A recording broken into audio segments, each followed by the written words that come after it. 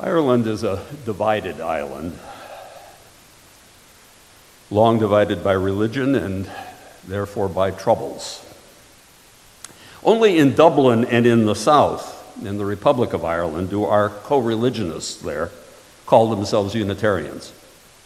We took their words of welcome as our own this morning. In the north, especially around Belfast, even if you join the Baha'i faith, I was told, you're likely to be asked, Well, that's well and good, but are you a Catholic Baha'i or a Protestant Baha'i? and so throughout Northern Ireland, our spiritual kin call themselves non subscribing Presbyterians. Although descended from the Scots Presbyterians that Cromwell brought over to conquer and settle the island in the 1600s, like our forebears here in America, they rebelled against the Calvinist notion of predestination and so refused to subscribe to the dogmatic Westminster Confession of Faith. I visited them in 1997. The troubles that had been ongoing for decades were marked by IRA bombings, you'll recall, provocative Protestant marches through Catholic neighborhoods, and British troops often overreacting in the attempt to create order and making more martyrs.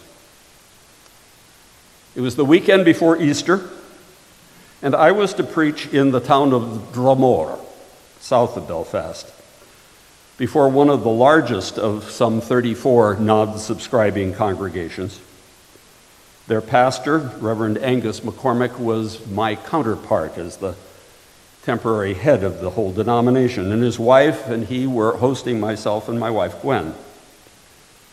We spent Saturday with them visiting lovely old Down Cathedral nearby, where St. Patrick is said to be buried, and retelling some of the legends about him. And then, after dinner back at the manse, we turned on the telly to listen to the evening news and learned that that evening, the firebrand Protestant fundamentalist preacher politician Ian Paisley had so stirred up a Protestant crowd that they had gone out and tried to set fire to a Catholic church and burn it. Angus and I were simply appalled. And that night I slept pretty fitfully. I knew that the sermon that I'd prepared for the next morning would just have to be tossed aside and that I'd be called to preach. Inspired by the Spirit, although uh, very conscious that sometimes the Spirit says to the preacher, You should have prepared more. But as best I recall, I began by speaking about my own Roman Catholic grandparents, who came to America the way many Irish did hungry orphaned. They met and married in Chicago before World War I.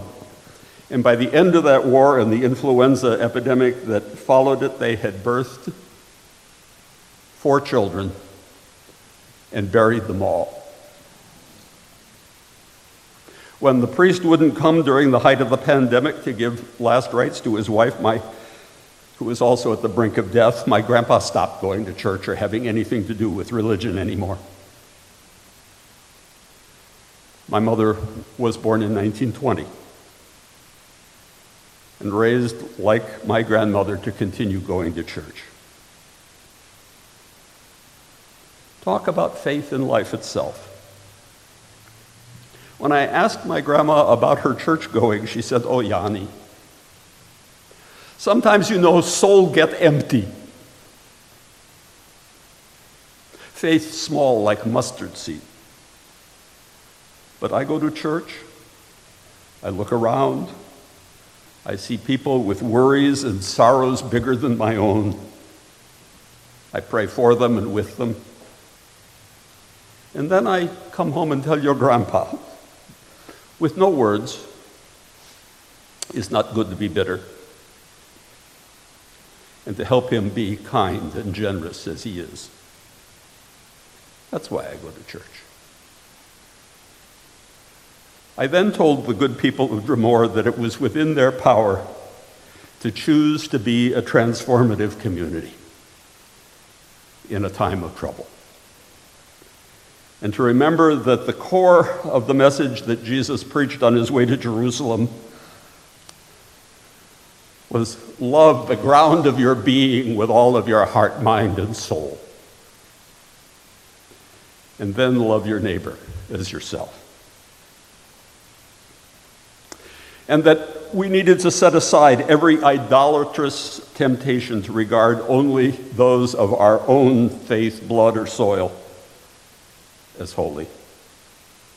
And to see the spark of the divine in every other human being, seeking as we do for the right way in life.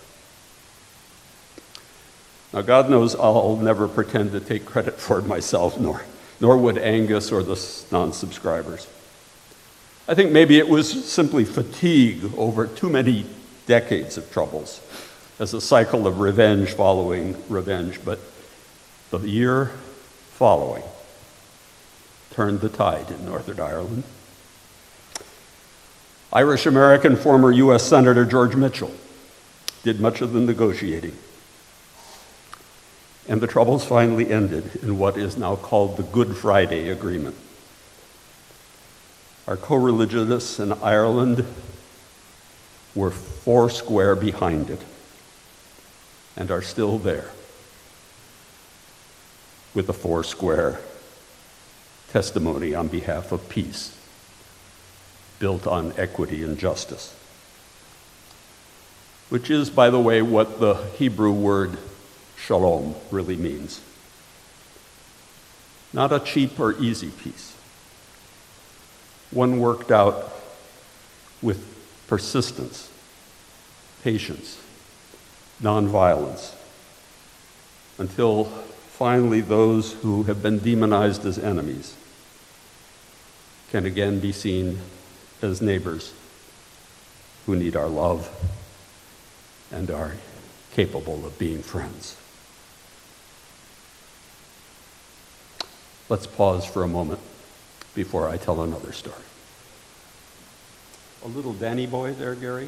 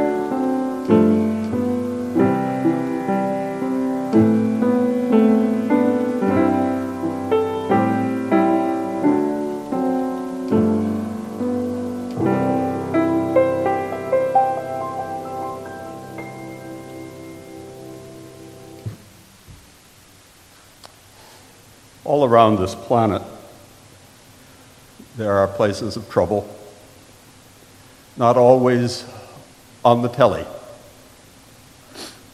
I think of Central Africa, where my own family again has some experience of the ongoing violence there. When I was 16 and an exchange student in Italy, my family welcomed Suleiman Kakosa, a Muslim from Uganda, to take my bedroom my house and live with my parents and younger brothers. It's a small town in Michigan, and he was the first person of color, I was told, much less the first Muslim that that town had ever, as one hate message my parents received, been allowed to stay overnight. He rose before dawn to pray. He kept Ramadan.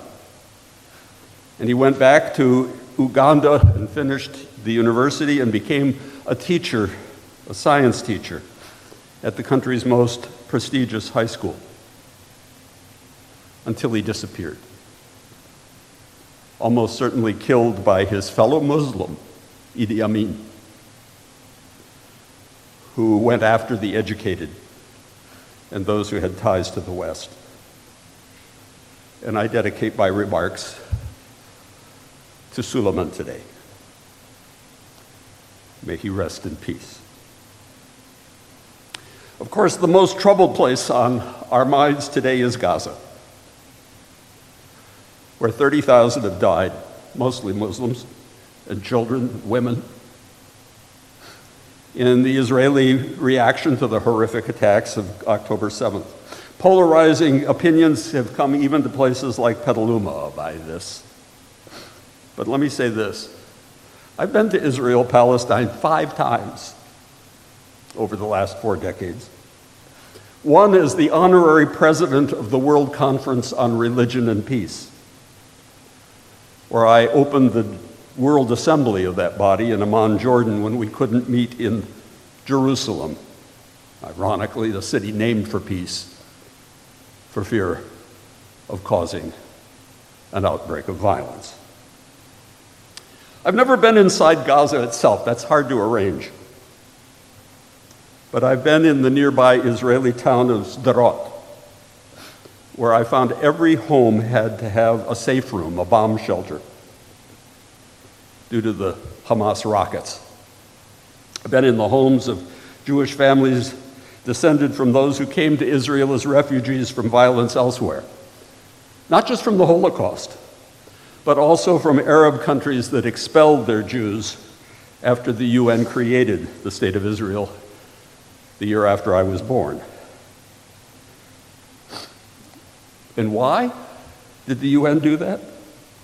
Well, perhaps out of guilt that the United States itself and the UK and other Europeans, and even our wartime ally, the Soviet Union, had treated Jews so badly throughout the last century that they needed a refuge. Israel then should be seen in no small part as itself a refugee camp, although it's become a rich one now and powerful and nuclear armed and a fragile democracy like our own, as imperfect a government as our own, with its internal politics a mess, and with the descendants of those who founded the state, not many of them living here in Silicon Valley or elsewhere in the West, having left its future to those families who fled Arab countries or Russia,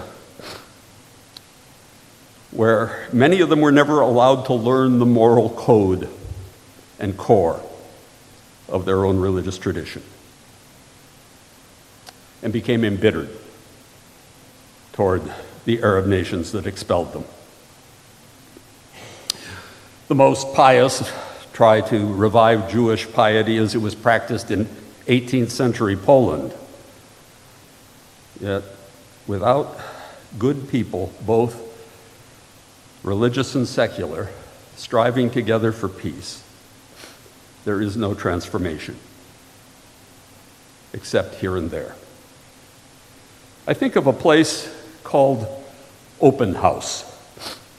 If you fly into Israel, you'll land at Ben Gurion Airport, which is halfway between Tel Aviv and Jerusalem, and right next to the town of Ramla, once an Arab village, where the oldest houses, beautifully surrounded by olive and lemon trees, were owned by Palestinian Muslim families during the long years of Ottoman rule and even thereafter. In 1948, when four surrounding Arab countries all attacked Israel, rather than accept the UN decision to partition the land between a Palestinian and Jewish state. The family of one of these houses fled, perhaps to Gaza. Now, just as Jews recall the Holocaust, Palestinians speak of that kind of displacement as the Nakba the catastrophe. The refugee camps that sprang up in Gaza and Jordan and Lebanon seethed with anger. While the abandoned house itself was taken by the new Israeli government and given to a family that had survived the Holocaust in Bulgaria and come as refugees. My friend Dalia, Dalia Landau, grew up in that house. And when her parents died and she inherited it, she was tremendously moved when Arab Israelis related to the former owners came to quietly pay their respects and to see where their own grandparents had fed them olives and pistachios and hummus and pita and baklava and dates and so much more at the feast that ended Ramadan, the Eid al Fitr. Dalia and her husband Yehezkel, an American Jew who graduated as I did from Harvard Divinity School, were leaders in an Israeli movement called Oz Shalom, strength aiming for peace. They pondered what to do with the house. And after months, no, years actually, of negotiations with descendants of the one time Arab owners, they agreed to rename it Open House and make it a place where Jews and Arabs from childhood could come and learn one another's humanity, their languages, customs, and perspectives, and to work together for peace with justice. It too is still ongoing. And even in times of trouble, I think it is possible to feel called to transform those troubles toward peace and justice. It's true not only far away, it's true right here. When a congregation like this one leads the faith communities of the city to ring out danger over the epidemic of gun violence, when UUP supports its low income and Hispanic neighbors in resisting eviction and promoting more low income housing through the North Bay Organizing Project. When members of this congregation stand up for LGBTQ perspectives being included in schools and libraries, this too is an open house. May our efforts to renovate it make it more open than ever to more folks, more often, for more community building purposes. And may those efforts bear good fruit this month, even if it means a bit of sacrifice, a bit of fasting or staying at home to raise the funds to make it so. In the back of our hymnal, there is nestled between a Jewish prayer for peace and a Muslim prayer for the same purpose these words Save us from weak resignation to violence. Teach us that restraint is the highest expression of power. that thoughtfulness and tenderness are the mark of the strong. Help us to love our enemies, not by countenancing their sins, but by remembering our own. And in that spirit, let's build a strong future for this congregation and a strong home for its values in all the years ahead. So may it be.